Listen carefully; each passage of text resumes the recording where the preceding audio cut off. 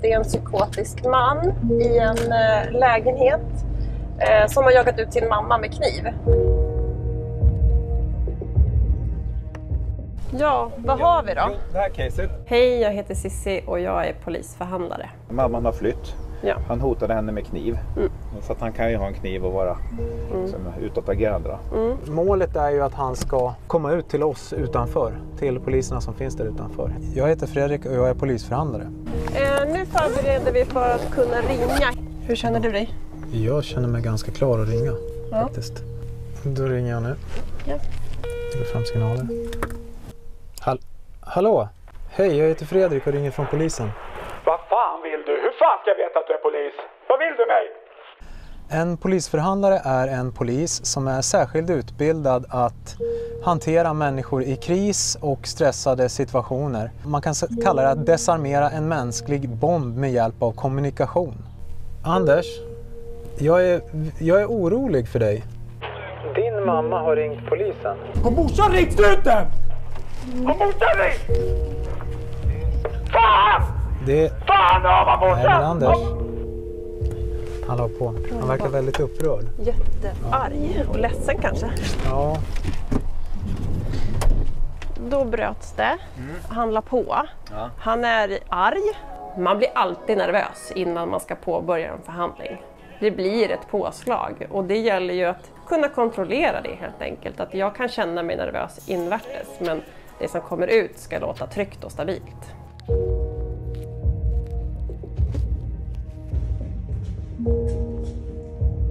Förhandlaren har kontakt med någon där inne på telefon. Hej Anders, det är, Fredrik, det är Fredrik från polisen igen. Är, är, är ni i trappen? Det finns poliser i trappen, ja. Vad fan, finns- varför finns det polis i trappen? De, de kommer att stå kvar i trapphuset. Vi kommer inte att ta bort poliserna ur trapphuset, Anders. Nej, Ingen får, ingen får göra mig illa. Jag, jag har ont i vaden och... Ingen kommer att göra dig illa.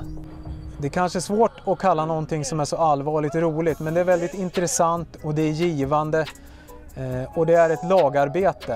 Eh, då känns det väldigt bra när man har löst en sån svår situation. Vad är det som har hänt idag, Anders?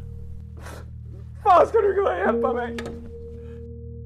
Och nu ringer morsan snuten. Jag har ingen kvar! Ingen kvar! Alla har rätt att vara förbannad, Anders. Tänk, tänker du gå ut genom dörren nu? Jag, jag, du, jag måste fan ut. Jag, jag, jag måste fan ut. Anders, ta djupa andetag och sätt dig och ta det lugnt så kommer pulsen att gå ner. Det är inte bra. Det bara, det bara ökar, ökar, ökar, ökar. Vi som polisförhandlare jobbar hela tiden med tålamodet och att vi har tiden på vår sida. Sen är det så att även om man tänker långsiktigt så kan ett samtal ta allt ifrån ett par minuter bara till flera timmar. Och så att du lyssnar på poliserna som är där utanför. Och så länge du lyssnar på dem och vi pratar så kommer ingen att göra dig illa. Vi brukar ju säga att förhandlarna, vi är som en familj. Om han tappar fokus så måste jag kunna fånga upp honom och det gör jag då genom lappar, pekar på ett ord eller bara en tumme upp kan räcka ibland. Jag vill, jag vill verkligen gå ut nu. Du, du, du, du hjälper mig här nu va? Du, du kommer ut nu. Bra.